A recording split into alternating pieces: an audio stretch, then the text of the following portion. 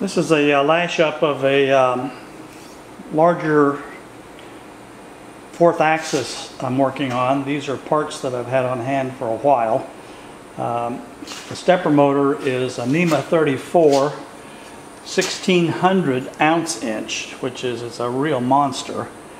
And as you can maybe see there with the ruler, the body of the stepper by itself is uh, six inches long. And it's pretty darn heavy. Um, it's about three, I think it's three inches, three and a half inches, it's three and a half inches square. And uh, I've just got it clamped up here on the bench to kind of see how it works. The spindle assembly is uh, a dividing head that I had made a number of years ago. I, I had a worm gear, a 40 tooth worm gear on the back and a worm with the dividing plates and everything. I removed all of those and replaced it with a 44 tooth um, timing pulley. Uh, that's a 1 5th or 0.2 inch pitch timing pulley. There's a, that's a 20 tooth pulley on the motor and a 44 tooth on the uh, spindle. Uh, the spindle itself was made from an old, uh, from a, from a, um, a lathe spindle off of a six inch Atlas lathe. It has uh, Timken uh, tapered roller bearings in the head there. Um, the, the spindle itself has a one inch by 10 threads per inch nose on it. And then the um, chuck is a four inch three jaw chuck. And you can see I've got it set up here. I've got this ring with set screws in there so I can adjust it for zero run out or as close to zero as I can get.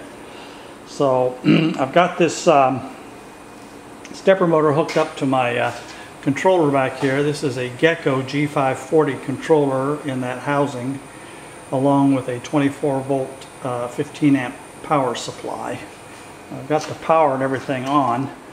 Over here you can see I've got uh, Mach 3 up and running and I'm on the uh, MDI interface uh, screen so I'm going to type in um, I'm going to type in A a0 or A, A1. Uh, let's go for A2. Uh, here you can see I've just typed in an A2 and uh, I'm going to spin the camera around here and hit enter so you can uh, watch it spin. That's a um, 12, I think I've got to set it, the spindle set at 12 inches per minute right there, which is uh, translates to actually 12 RPM in this case. Um, now I'll go ahead and type in a zero and you can watch the uh, display going back to, to zero up there in Mach 3.